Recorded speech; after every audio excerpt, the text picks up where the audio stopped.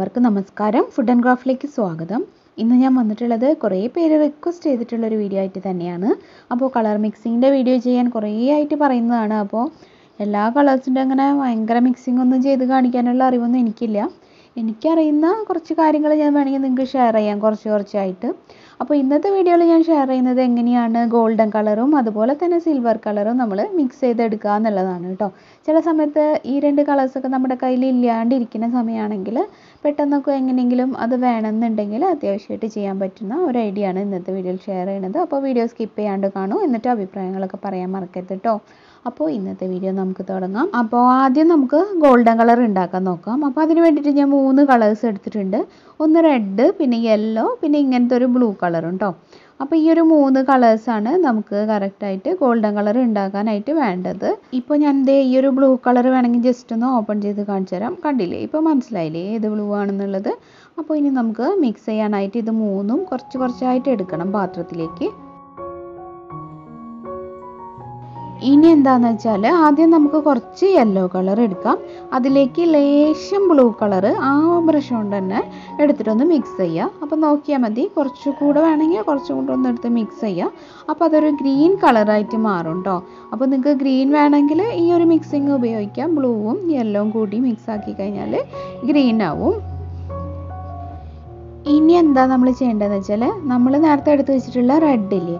Red എടുക്കുക കുറച്ച്. അപ്പോൾ ആവശ്യത്തിനുള്ള റെഡ് കളർ എടുത്തിട്ട് നമ്മളിപ്പോൾ പുതുതായിട്ട് ഉണ്ടാക്കി വെച്ചിട്ടുള്ള ഗ്രീൻ ഇല്ലേ? അത് കുറച്ച് ചേർത്തിട്ട് ഇങ്ങനെ മിക്സ് ചെയ്തുകൊണ്ടിരിക്കുക.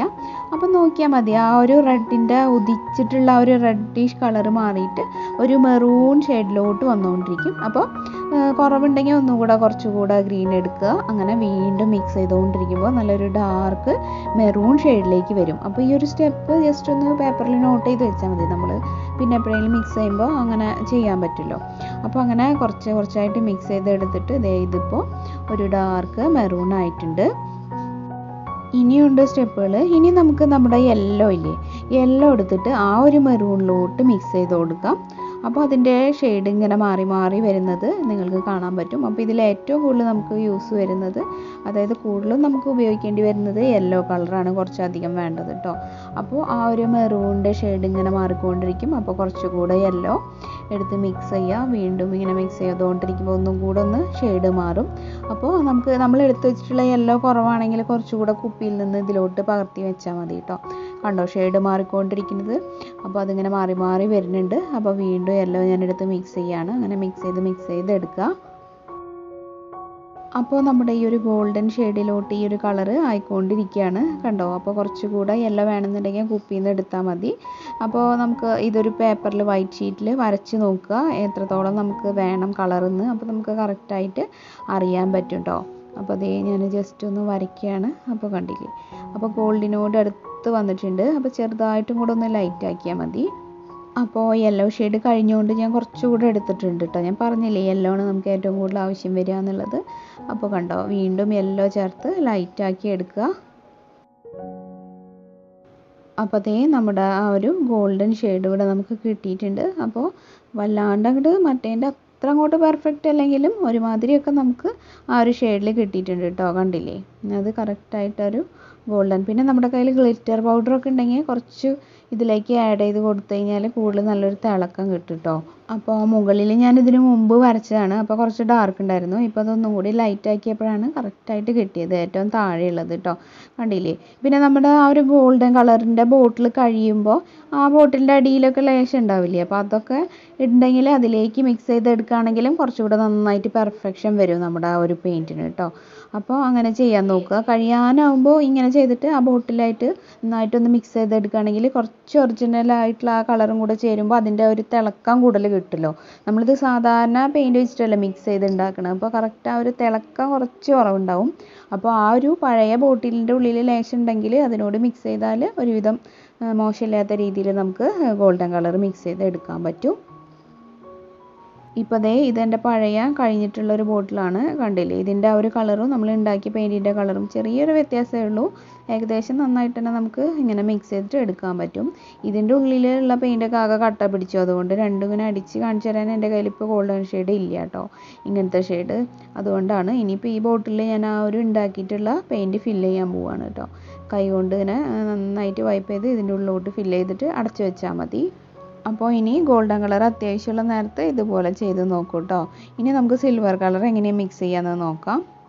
അപ്പോൾ നമുക്ക് ഈ ഒരു സിൽവർ കളർ ഉണ്ടാക്കാൻ ആദ്യം വേണ്ടത് നേരത്തെ എടുത്ത ബ്ലൂ തന്നെ വേണം.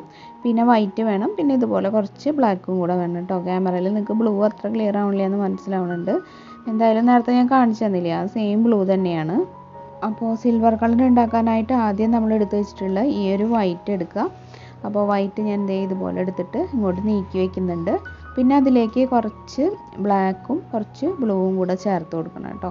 അപ്പോൾ കണ്ടില്ലേ ഇതാണ് ഞാൻ വൈറ്റ് എടുത്ത് മാറ്റി വെച്ചത്. ഇനി ഞാൻ ഇതിന് ഇതിലേക്ക് കുറച്ച് ബ്ലാക്ക് ചേർക്കുകയാണ്. അപ്പോൾ അധികം ഒരുമിച്ച് തന്നെ ചേർക്കരുത്. കുറേശ്ശെ കുറേശ്ശെ മിക്സ് ചെയ്യാൻ പാടുള്ളൂ. പിന്നെ നമുക്ക് ഇതിലേക്ക് ചേർക്കേണ്ടത് നേരത്തെ ഞാൻ കാണിച്ചു തന്ന ആ ഒരു ബ്ലൂ ഷെയ്ഡാണ് അതും കൂടെ മിക്സ് ചെയ്യാം കേട്ടോ.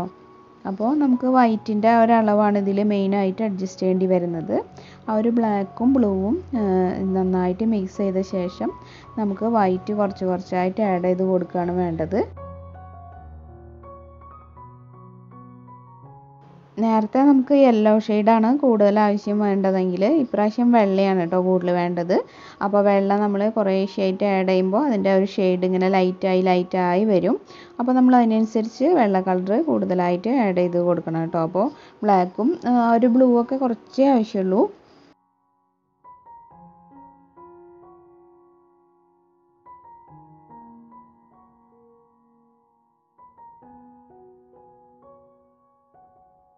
ഇപ്പം ഞാൻ ദേ കുറച്ചുകൂടെ അധികം വൈറ്റ് ആഡ് ചെയ്തിട്ടുണ്ട്. അപ്പോൾ നമ്മുടെ സിൽവർ കളറിനോട് ഇതിങ്ങനെ അടുത്തടുത്ത് വരും. അപ്പോൾ അത് എത്രത്തോളം ലൈറ്റ് ആവുന്നോ അതിനനുസരിച്ചിട്ട് കളർ ഇങ്ങനെ മാറി മാറി സിൽവറിനോട് അടുത്തടുത്ത് വരും കേട്ടോ. അപ്പോൾ വൈറ്റ് ഇങ്ങനെ ആഡ് ചെയ്തുകൊണ്ടിരിക്കുക. ഇപ്പോൾ അതേ നമ്മൾ മിക്സ് ചെയ്ത് മിക്സ് ചെയ്ത് ഏകദേശം നമ്മുടെ ഒരു സിൽവർ കളർ നമുക്കിപ്പോൾ ഇവിടെ കിട്ടിയിട്ടുണ്ട്. ഈ ഒരു രീതിയിൽ നമുക്ക് മിക്സ് ചെയ്തിട്ട് ഉണ്ടാക്കാനായിട്ട് പറ്റുള്ളൂ കേട്ടോ ആ ഒരു ഹൺഡ്രഡ് പേഴ്സന്റ് പെർഫെക്ഷൻ നമ്മൾ പ്രതീക്ഷിക്കേണ്ട. നമ്മൾ സാധാരണ പെയിന്റുകൾ മിക്സ് ചെയ്തിട്ടാണല്ലോ ഉണ്ടാക്കണേ. അപ്പോൾ അതേ നമ്മുടെ ആ ഒരു സ്പ്രേ ബോട്ടിലിന്റെ തുമ്പത്തുള്ള ആ ഒരു സിൽവർ കളറും നമ്മൾ പെയിന്റ് ചെയ്ത കളറൊക്കെ ഏകദേശം ഒന്ന് തന്നെയാണ്. പിന്നെ ആ ഒരു ഗ്ലേസിങ് കിട്ടാൻ നമ്മുടെ പഴയ ബോട്ടിലിൽ നിന്ന് കുറച്ച് ഒരു ബഡ്സ് കൊണ്ട് എടുത്തിട്ട് ഒന്ന് മിക്സ് ചെയ്ത് കഴിഞ്ഞാൽ കറക്റ്റ് ആ ഒരു പുതിയത് വാങ്ങിക്കുന്ന പോലെ തന്നെ നല്ല ഗ്ലേസിങ്ങിൽ കിട്ടും കേട്ടോ അപ്പോൾ നമ്മൾ സിമ്പിളായിട്ടുള്ള സാധാരണ പെയിന്റ് വെച്ചിട്ടല്ല മിക്സ് ചെയ്തത് അതുകൊണ്ടാണ് ആ ഒരു മെറ്റാലിക് ആ ഒരു തിളക്കം കിട്ടാൻ വേണ്ടിയിട്ട് അങ്ങനെ ചെയ്യാൻ പറഞ്ഞത്. അല്ലെങ്കിൽ പൗഡർ ഉണ്ടെങ്കിൽ അതായാലും മിക്സ് ചെയ്താൽ മതി കണ്ടോ? അപ്പോൾ നമുക്ക് സിമ്പിളായിട്ട് ഇതുപോലെ കഴിയാനാവുമ്പോൾ പുതുതായിട്ട് മിക്സ് ചെയ്തിട്ട് എടുക്കാൻ പറ്റും. അപ്പോൾ കളർ മിക്സിങ് പറഞ്ഞു തരാൻ പറഞ്ഞുകൊണ്ട് മാത്രം ചെയ്തൊരു വീഡിയോ ആണിത്. അപ്പോൾ ഇതുപോലെ നിങ്ങൾക്ക് വേണമെന്നുണ്ടെങ്കിൽ വേറെ കളേഴ്സിന്റെ മിക്സിങ്ങൊക്കെ ഞാൻ വേറൊരു ദിവസം ചെയ്യാം.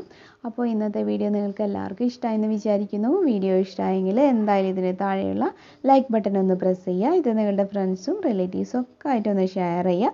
അതുപോലെ നിങ്ങളുടെ അഭിപ്രായങ്ങളൊക്കെ കമന്റിലൂടെ അറിയിക്കുക. പുതുതായിട്ട് ആരെങ്കിലും നമ്മുടെ ചാനൽ ഇപ്പോൾ കാണുന്നുണ്ടെങ്കിൽ ഇതിലെ വീഡിയോസൊക്കെ ഇഷ്ടമാണെങ്കിൽ ഒന്ന് സബ്സ്ക്രൈബ് ചെയ്തിട്ട് നമ്മുടെ ഫാമിലിയിൽ ജോയിൻ ചെയ്യാം കേട്ടോ സബ്സ്ക്രൈബ് ചെയ്താൽ മാത്രം പോരാ ബെല്ലൈക്കൺ ക്ലിക്ക് ചെയ്യണം ഓൾ എന്നുള്ളൊരു ഓപ്ഷനും എനേബിൾ ആക്കണം. പിന്നെ പ്രാർത്ഥനാസ് വേൾഡ് സമയം കിട്ടുമ്പോൾ എല്ലാവരും കണ്ടു നോക്കി സപ്പോർട്ട് ചെയ്യണം. കഴിഞ്ഞ ദിവസം ഞാൻ അപ്ലോഡ് ചെയ്തിരുന്ന വീഡിയോ എല്ലാവരും കണ്ടു നോക്കാം കേട്ടോ അത് നല്ലൊരു ഐഡിയ ആയിരുന്നു. അപ്പോൾ അത് കുപ്പിയുടെ മൂടി വെച്ചിട്ടുള്ള നല്ലൊരു ബോട്ടിൽ ആർട്ട് ഐഡിയ ആണ് ബിഗിനേഴ്സിനൊക്കെ പറ്റിയതാണ്. കാണാത്തവർ കണ്ടാൽ മതി കേട്ടോ പിന്നെ നമ്മുടെ ഫേസ്ബുക്ക് പേജ് എല്ലാവരും ഒന്ന് ലൈക്ക് ചെയ്തിട്ട് ഫോളോ ചെയ്യണേ. പ്രാർത്ഥന ഫുഡ് ആൻഡ് ക്രാഫ്റ്റ് തന്നെയാണ് പേജിന്റെ പേര്. അപ്പോൾ എനിക്ക് ഇത്രയ്ക്കൊക്കെ ഇന്നത്തെ വീഡിയോയിൽ പറയാനുള്ളൂ. ഇനി നാളെ മറ്റൊരു നല്ല ഐഡിയ ആയിട്ട് വരാം. അതുവരെ എല്ലാവർക്കും നന്ദി. Keep watching thank